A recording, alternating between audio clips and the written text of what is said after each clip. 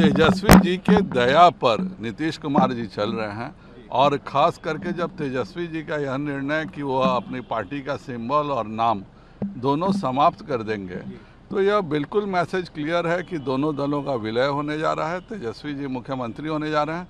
कब होगा? यह तेजस्वी जी की इच्छा और नीतीश कुमार जी के प्रति उनकी दया पर निर्भर करता है। कौन करेगा? जेडीयू बीजेपी आरजेडी करेगी? आरजेडी? अभी तो तेजस्वी जी विलय करके पूरा का पूरा जदयू को अपने में समाहित कर लेंगे। दोनों मिल करके कोई एक दल हो जाएगा किसी का एक सिंबल हो जाएगा।